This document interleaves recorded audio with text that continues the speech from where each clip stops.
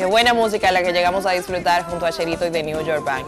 Seguimos en el contenido de esta mañana con el consumidor joven y vamos entonces a darle la bienvenida al señor Iván Padilla, que hoy nos trae la primera parte de su segmento, porque hoy él trae mucho contenido y hasta lo tenemos en dos eh, partes, como ya decía, para que lo puedas disfrutar. Buenos días, Iván. Así me gusta, de hecho, yo pienso que producción debería como, no sé, considerar ese esquema eh, de programación eh, un poquito más a menudo Digo yo. yo. voy a llamar a Yamel a ver qué ella opina. Eh, bueno, llama a Yamel que tal vez desde las Bahamas ella te conteste y te dé su excusa de por qué ella no está en el día de hoy. Ay, no, Iván, no calumnies. Nuestra querida Yamel está un poquito indispuesta de salud. Por cierto, un fuerte abrazo para Yamel, que te mejores pronto. Hoy no nos estará acompañando, pero desde casita yo sé que está en sintonía y te deseamos que te recuperes para que el próximo viernes estés aquí, pues, respondiéndole al señor Iván. bueno, nada, ya recupérate. Mientras tanto, yo aprovecho nuestro tiempo, eh, porque la verdad sí tengo muchas cosas que decir. Lo primero es eh, que quiero comenzar aprovechando el Día de los Abuelos, enviando saludos a mi bisabuela, que tal como tú dijiste, Madeline, me pasa igual, es mi primera fan. Tú no sabes que ella me llamó en esta semana y me dice, ven acá, ¿y tú no fuiste el viernes pasado al programa? Le digo yo, sí, y me dice ella, pero yo no te vi, le digo yo, lo que pasa es que yo estuve en el último segmento. Así que de verdad que le envío un fuerte abrazo y obviamente muchísimas gracias por su sintonía. Ya entrando en materia, tal como dijiste, esta semana se está celebrando el RD Fashion Week en su edición 2019. Este año se está celebrando en el JW Marriott, hotel que está en Blue Mall. Y la verdad es que ha tenido una cartelera de diseñadores súper, súper, súper interesante. Yo he estado allá toda la semana para en el día de hoy poderles compartir el resumen de todo lo que he visto. El RD Fashion Week comenzó el martes con el desfile de la súper famosísima diseñadora Janine Sar, que nos presentó su colección Resort. y bueno, en pantalla vamos a ver algunas fotos. El desfile fue el, pues, el inaugural de esta edición del RD Fashion Week tuvo como cierre a Yolandita Monge y también a Alexandra Ville. Y la verdad entiendo que, o sea, me pareció muy interesante. Entiendo fue que, que, es mucho de lo que ya estamos acostumbrados a ver en Yanina, pero pues definitivamente... Mucho por el material que usaron para las piezas o los diseños, ¿en qué sentido?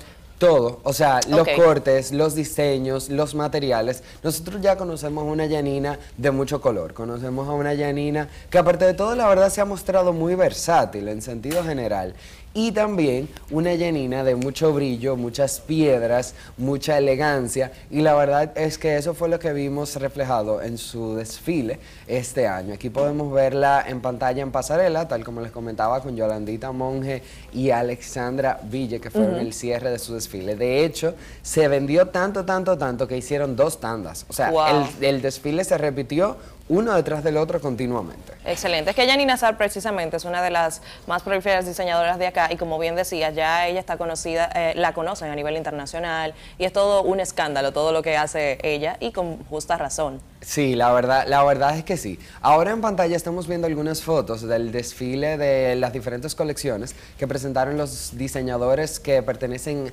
a Achadom, que es la asociación, eh, bueno, es como la Asociación de Chacabanero Dominicano. No sé si es exactamente eh, las siglas, pero la verdad es que a mí me encantó. Yo personalmente soy anti-chacabana. Debo confesarlo en televisión nacional porque yo personalmente opino que la gente joven se ve muy adulta cuando utiliza este tipo de este tipo de pieza. Yo pienso sobre todo por la, no sé, por la connotación cultural como con la que ya se le asocia pero verdaderamente debo decirte que me llamó muchísimo la atención las diferentes combinaciones, los cortes diferentes eh, que pudimos ver en esa presentación de las diferentes colecciones de la Asociación de Chacabaneros Dominicanos. Chacabanas para chicas que también me, me encantaron, eh, la verdad, porque se salen de lo tradicional. Todas con sus alforzas, evidentemente, que son, ¿cómo se lo puede explicar en español dominicano? Esta pedacito de tela unida chiquitico claro, que podemos ver Bueno, lo que pasa es que si le digo el fuerza no va a entender tampoco. Yo mismo no lo entendía al principio. Pero la verdad es que me encantó esta, esta colección. Otra que a mí también me, me gustó muchísimo y era súper, súper esperada, es la que nosotros vamos a ver en pantalla ahora. Bueno, mientras le voy diciendo, anoche vimos eh, la de Damaris True. Ok, sí vamos. La de Jenny Polanco. Señores, siempre Jenny es una de las más esperadas en las alfombras, porque tal como yo comentaba anoche, nosotros teníamos ya como que un, o sea, ese sentimiento de lo que ella va a presentar en sus colecciones, que siempre es, está muy atado a su sello personal.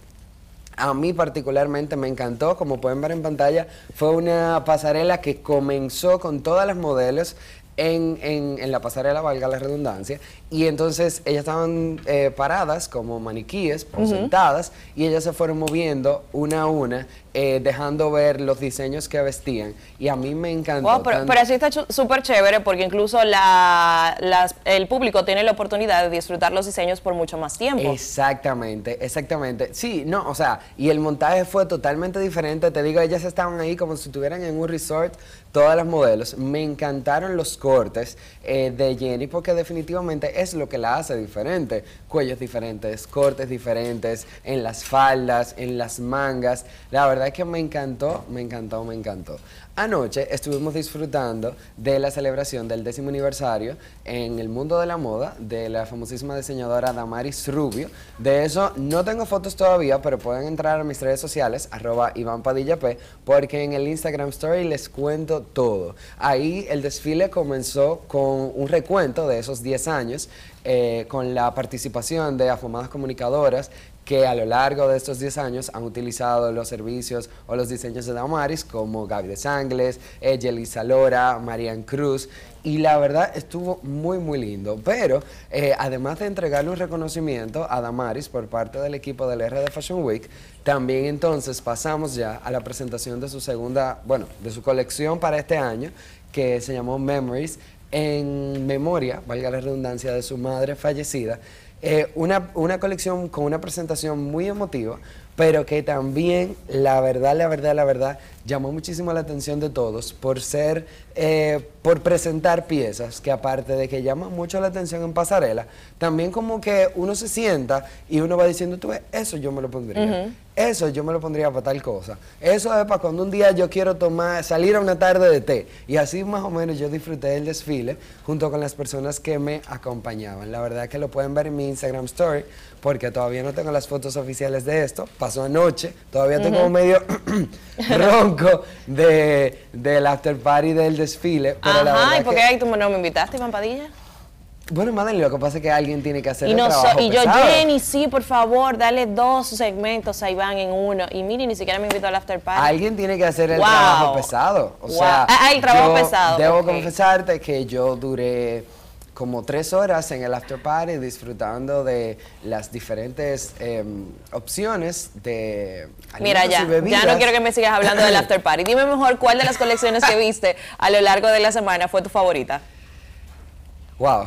Eh, para mí personalmente la de Jenny Polanco, pero es porque eh, es como está muy asociada a mi estilo. Ahí en pantalla les dejo también la cartelera del día de hoy y de mañana. Hoy, por ejemplo, estoy muy contento porque voy a ver a la diseñadora Nina Vázquez, con quien ya hemos compartido aquí en el programa con el consumidor, que va a presentar una colección en memoria de las hermanas Mirabal. Y entonces mañana ya es el cierre oficial del RD Fashion Week. Está un chin chiquito, obviamente, pues con una foto de referencia, pero en las redes sociales del RD Fashion Week, arroba RDFW oficial, ustedes pueden ver mucha más información. Sí, e igual también lo vamos a compartir en las redes sociales del programa, así que ahí lo pueden buscar, arroba con el consumidor. Iván, pues entonces vamos a una pausa y luego retornamos con la segunda parte de tu segmento. Hoy recibimos a Melissa Gonel y Carla Javier, que nos vienen a hablar de estilismo y de un taller muy chévere que tendrán mañana para todas las chicas que están en sintonía. Quédense con nosotros en Con el Consumidor Joven.